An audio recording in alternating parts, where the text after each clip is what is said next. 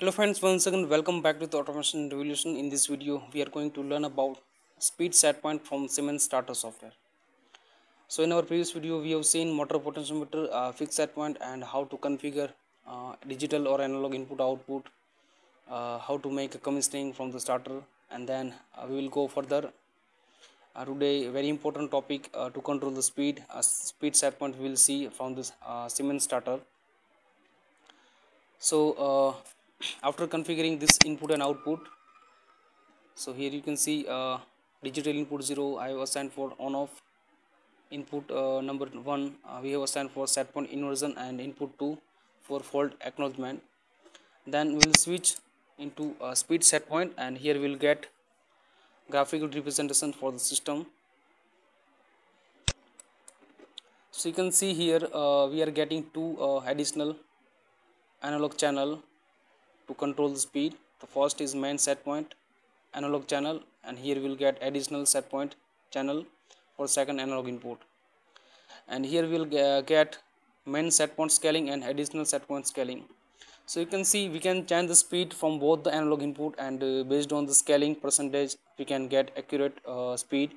So when uh, we need very accurate uh, speed control so in that case we can use this speed set point option. So first we will assign analog input with main set point and additional set point. So the parameter number are uh, 755 I will assign first analog input. And here uh, you can get the scaling.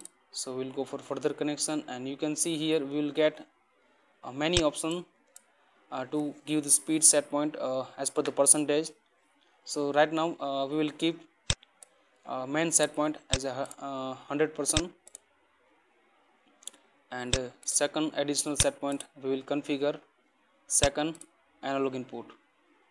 So that parameter number are 755 analog input 1 we will configure here. And uh, from this additional set point uh, we can assign the percentage of the scaling as per requirement. So we'll keep here 5 percentage right now here uh, we have option jog 1 and in downside we have option. So you can uh, connect here uh, digital input for direction of rotation reversal and uh, you can set uh, jog mode. Here we can assign maximum rpm uh, to the motor. And right now we are online mode so we don't need to download. So automatically this data will be transferred into drive. Now uh, we will see practically how it uh, works. So first I will enable a digital input and then uh, I will change main set, uh, set point. So I will enable this drive and I am changing main set point. So from the main set point uh, we will get maximum 100% uh, output and uh, if you want to change uh, from the additional set point so I will vary right now. And you can see the maximum RPM from the additional set point we will get uh, only 5 percent uh, percentage addition into uh, final RPM so you can see here that uh, we will get only 5 percentage of that RPM and here we will get maximum 100 percent RPM addition in this uh, final set point? So after assigning a main set point and additional set point from the starter uh, we have downloaded program in Siemens G120 drive. Then we'll see practically how we can change the speed uh, from both the analog uh, input. So first I will enable the drive from this digital input. And uh, here we have two analog port. The first analog port is main set point and the second analog port we have for additional set point so now I will change the speed from first analog input. So total uh, will get 100% output from this uh, main set point because we have uh, made scaling 100% for the main set point.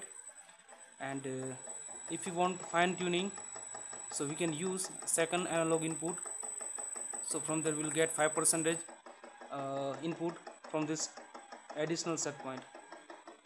So we can use both analog input to uh, vary the speed very accurately and uh, we can make speed tuning from both the analog input.